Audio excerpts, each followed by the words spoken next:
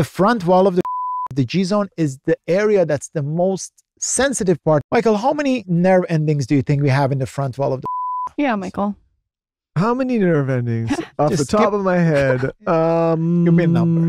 Let's say fifty thousand. That's not bad, you know. Most people wouldn't say it's twelve thousand. So you have Okay, twelve thousand nerve high. endings in the front wall of the. How many nerve endings do we have in the? I would say six thousand. It's four thousand. Hmm. You were close. So twelve thousand versus four thousand in men. So three times more. So if you really unlock the pleasure, and that's what I do, that's my business. If I unlock the pleasure, I have patients who never had.